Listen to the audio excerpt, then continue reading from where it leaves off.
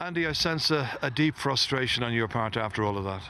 Yeah, deep frustration. I mean, look at you know a, a couple of emotions. Really, very proud of, of the way the lads performed, but ultimately, uh, yeah, I, I'm frustrated. I'm frustrated. You lost by just a point. Uh, you were still going strong there, deep into stoppage time.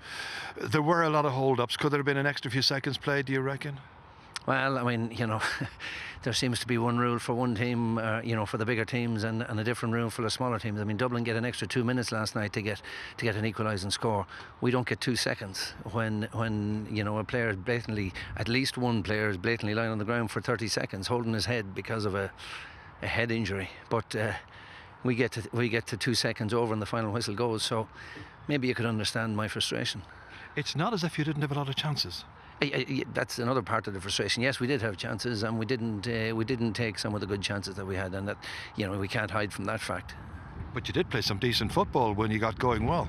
Yeah, look, I, I mean, we asked for. Uh, I asked for a special effort for the guys today, and I, I, I couldn't complain on, on that front. I think everybody put in a, a really good shift on on a very difficult day.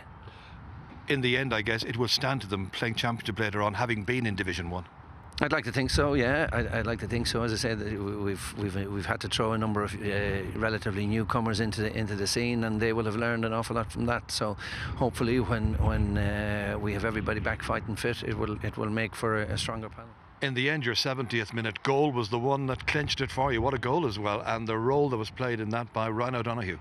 Yeah, Ryan uh, worked worked hard today. You know, um, it's his third league game. Um, obviously, very very talented player, but his hard work today was was really good and real good vision to to set up Kevin McLoughlin, and, and Kevin finishes those goals nine times out of ten. So look, we're delighted. Um, you know, with ten or twelve minutes to go, Meath they were on top, they were ahead, the crowd were behind them, the wind was behind them. It, it, it was it was a daunting task, but I thought the way we stuck in there and won a couple of crucial breaks showed showed real character, and, and I'm delighted how the guys stuck in. And look, we we, we pinched two points, and uh, delighted, and we'll move on. Yeah, in these kind of conditions, it's a bit of a lottery, really, isn't it?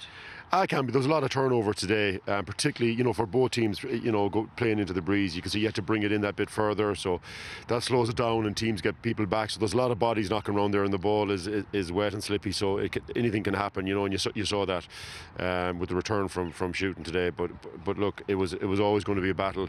Um, either a very proud team, and, and, and up here on their home patch, it's, it's going to be tough. So to get to get the two points and and, and, and move on, we'll, we'll we'll take it.